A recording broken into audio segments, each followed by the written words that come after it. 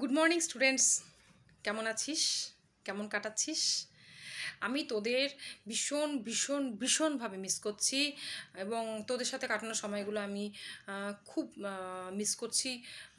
তবুও উপায় নেই বল। আমাদের তো এভাবে এখন কাটাতে হবে। সোশ্যাল ডিস্টেন্স বজায় রাখতে হবে। যাই হোক সেকেন্ড সেমিস্টারের স্টুডেন্ট তোরা। তোদের লাস্ট যখন ক্লাস নিয়েছিলাম লাস্ট ক্লাসে আমরা বোধহয় টেটোফাইট নিয়ে আলোচনা করেছিলাম।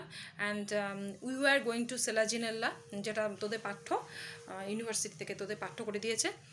তো সেলাজিনেল্লা হচ্ছে এক ধরনের টেডোফাইটা টেডোফাইটা কাকে বলে, কি বৃত্তান্ত ব্রায়োফাইটের সাথে কি সম্পর্ক বা কতটুকু উন্নত সেটা আমি আগের ক্লাসে আলোচনা করেছি, এখানে আমি সময় নষ্ট করছি না। মোটামুটি জেনে রাখ সেলেজেনেলা লাইকোফাইটা বিভাগের অন্তর্গত সেলা জেনেলিস সেলাজিনেলিস বর্গের অন্তর্গত এবং সেলাজিনেলেসি গোত্রের অন্তর্গত একটা উদ্ভিদ, যার দুটি ভারতীয় প্রজাতি আমি নাম বলছি, একটা হচ্ছে সেলাজেনালা রুপেস্ট্রিস আর একটা সেলাজেনালা লেপিডোফাইলা আরও অনেক প্রচুর প্রচুর আছে, তোরা দেখে নিতে পারিস ফ্রম ইউর স্টাডি বুক তো সেলেজেনারে আলোচনা করতে গিয়ে আমি প্রথমেই বলি, এরা কোথায় জন্মায়? Where they grows normally normally selaginella grows in hilly areas কেন? না হিলি এরিয়াস এর বা পার্বত্য অঞ্চলের যে ওয়েদার সেটা তাদের জন্মাতে সাহায্য করে বা বেড়ে উঠতে সাহায্য করে। আমাদের এই নর্মাল যে প্লেন এরিয়া বা প্লেন আমরা যেখানে থাকি লেভেল সেখানে কিন্তু এই টেম্পারেচার বলো বা ওয়েদার বলো, সেটা কিন্তু ওদেরকে বেড়ে উঠতে কখনোই সাহায্য করে না। সো এখানে আমরা তাদেরকে অত দেখতে পাই না।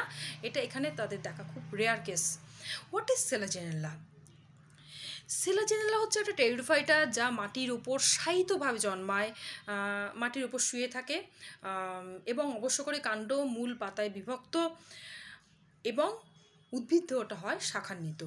অবশ্য করে বিরুৎ জাতীয় উদ্ভিদ, এটা, এটার কোনো গুল্ম প্রজাতিও নেই, কোনো বৃক্ষ প্রজাতিও নেই। সাধারণত এরা মাটির উপর শুয়ে থাকে, কিন্তু কিছু কিছু প্রজাতি খারাপভাবে মাটির উপর জন্মায়। যেমন সেলেজেনেলা রুপেস্ট্রিস রুপেস্ট্রিস ওকে যাই হোক গাছটা মাটির উপর জন্মায় শায়িতভাবে এবং তার উপরই সে ডাইকটোমাসলি বৃদ্ধি পায় বা দ্যাগ্র শাখান্বিতভাবে তারা বৃদ্ধি পায়। এইবার একটা ঘটনা ব্যাপার তোদের বলছি অ্যাবাউট সেলাজেনেলা সেলাজেনেলা কিছু কিছু জাঙ্গল প্রজাতি যারা খুব ফাইট করতে পারে। কি ফাইট করতে পারে না? ড্রাউট ফাইট করতে পারে। সেরকম জাঙ্গল প্রজাতি যদি শুকিয়ে যায়, শুকিয়ে গিয়ে তারা পাকিয়ে বলের মতো হয়ে যায় সেই বলের মতো পাকিয়ে যাওয়া গঠনটা যদি জলের সংস্পর্শ পায় দেন সঙ্গে সঙ্গে তারা কিন্তু কি হয় না নর্মাল সজীব গাছের মতো একটা গঠন লাভ করে। এই জন্য এই ধরনের গাছকে আমরা বলি, বা এই ধরনের সেলেজেনেলা প্রজাতিগুলোকে মৃত সঞ্জীবনী গাছ বলে অভিহিত করা হয়। যাই হোক, সেলেজেনেলা উদ্ভিদটা কয় ধরনের? এটা দু ধরনের উদ্ভিদটা। ওয়ান ইজ হোমোফাইলাম আর অ্যানাদার ইজ হেট্রোফাইলাম হোমোফাইলাম প্রজাতিতে সেলেজেনাল উদ্ভিদে এক ধরনের পাতা দেখতে পাওয়া যায় আর হেট্রোফাইলাম প্রজাতিতে দু ধরনের পাতা দেখতে পাওয়া যায়। এই কারণে এই এইভাবে পাতার বা প্রকারভেদের উপর নির্ভর করে সেলেজেনালকে দুটো ভাগে আমরা ভাগ করেছি। অ্যান্ড নাও সেলেজেনালা গঠন। সেলাজেনালা যে রেণুধর উদ্ভিদটা তার যে কাণ্ড, কাণ্ডের ওপর পাতাগুলো সুন্দর করে সজ্জিত থাকে। পাতাগুলো কেমন দেখতে হয়? পাতাগুলো ছোট ছোট পাতা হয় সূক্ষাগ্র থাকে পাতার বেশ চওড়া হয়, একটা মাত্র মধ্যশিরা থাকে এবং মধ্যশিরা থেকে কোনো শাখা শিরা বেরোয় না। আর পাতাগুলো গোড়ার দিকে পৃষ্ঠদেশে এক ধরনের উপবৃদ্ধি দেখতে পাওয়া যায়, যাকে বলা হয় লিগিউল। যার জন্য একে লিগিউল অফ সিডার আন্ডারে রাখা হয়েছে সেলাজেনেলাকে যাই হোক, এই লিগিউলের মধ্যে একটা পিঠ থাকে। পিঠ বা গর্ত থাকে। যে গর্তের মধ্যে একটি বহুকোষীয় অঙ্গ প্রথিত থাকে, যাকে বলা হয় গ্লসোপোডিয়াম। তাহলে দ্যাট ইজ অ্যাবাউট লিফ লিফের বেসটা হয় চওড়া। সেই চওড়া বেস দিয়ে সে কাণ্ডটাকে ঘিরে থাকে।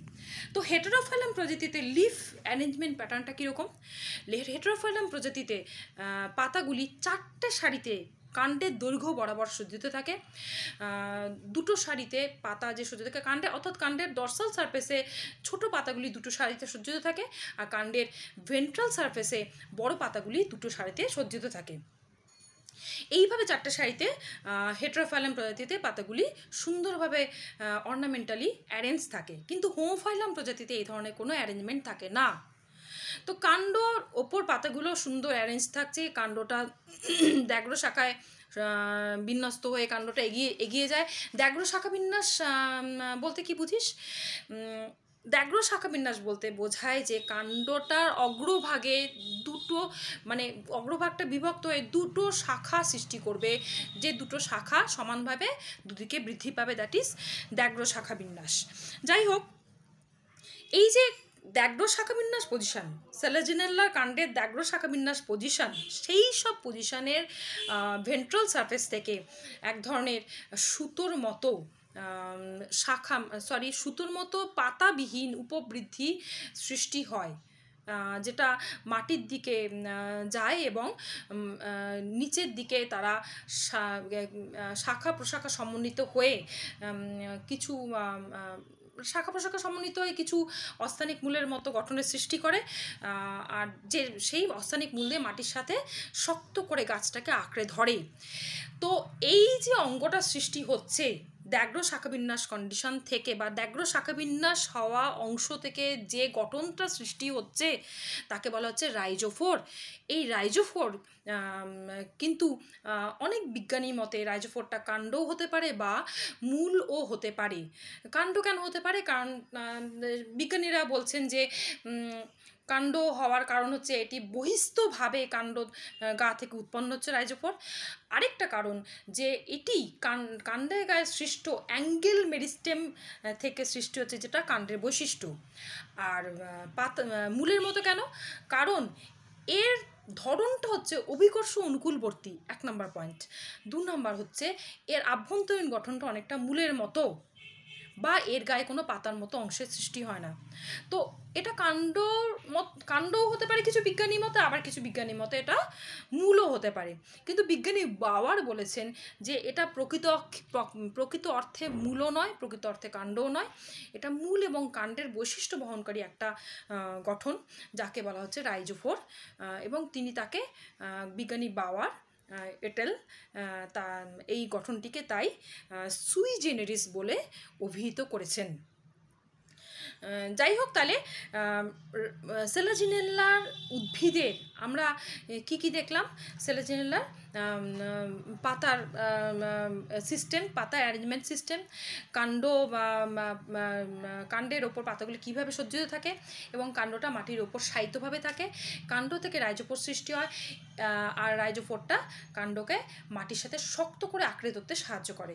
ইচ অ্যান্ড এভরিথিং সেলাজেনেলা খুব গুরুত্বপূর্ণ বৈশিষ্ট্য অ্যান্ড সেলাজেনেলার হোমোফাইলাম প্রজাতিতে আমরা যেটা পাই না, সেটা হেটারোফাইলাম প্রজাতিতে পাই। অর্থাৎ heterophyllum প্রজাতিতে due to arrangement pattern of leaf এটা দেখতে এত সুন্দর হয় অনেকে, সেলাজিনালাকে বাড়িতে সুন্দর করে সাজানো কাজে ব্যবহার করে থাকে। যাই হোক সেলেজেনেলার আভ্যন্তরীণ গঠনটা আমি নেক্সট ভিডিওতে আমি তোমাদের সাথে শেয়ার করব। তোমরা যদি এই লেকচার থেকে কোনোভাবে কোনো প্রশ্ন থাকে তোমাদের কাছে ইউ মে কল মি এবং তোমরা আমার সাথে ডিসকাস করে নিতে পারো। ম্যাডাম এই জায়গাটা আমরা বুঝতে পারছি না। তাহলে আমি সেই সেই অনুযায়ী তোমরা তোমাদের সাথে বাই ফোন আমি ব্যাপারটা আরেকবার ডিসকাস করে দেবো। আপাতত এটুকুই থাক। ভালো থাকিস তোরা। পড়াশোনাটা করিস। আর দুটো কোশ্চেন এর থেকে প্রিপেয়ার করিস। একটা হচ্ছে সেলাজিনেল্লার বহি অঙ্গ সংস্থানিক গঠনটি আলোচনা করো। আরেকটা তৈরি করিস যে সেলাজিনেল্লা সেলাজিনেল্লার শ্রেণীবদ্ধ অবস্থানটা আলোচনা করা। অর্থাৎ এটি কোন ক্লাসে কোন ফ্যামিলিতে কোন বিভাগের অন্তর্গত সেগুলো জানা। আর আরেকটা জিনিস লিখে রাখিস বা তৈরি করে রাখিস, সেলাজিনেল্লা দুটো ভারতীয় প্রজাতি যেগুলো থেকে কোশ্চেন আসতে পারে। ওকে ভালো থাকিস। নেক্সট ভিডিওতে আবার দেখা হবে। Good bye good day stay home stay safe okay আবার দেখা হবে বাই